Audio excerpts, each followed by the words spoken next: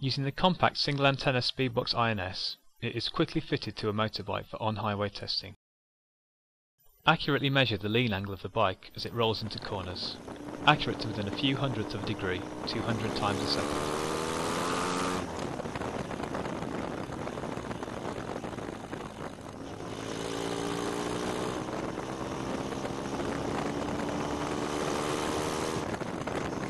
Using Race Technology's purpose-designed pure-phase GPS receiver, coupled with tactical grade inertial sensors, the Speedbox INS range of products are both highly accurate and robust to challenging GPS conditions and dropouts.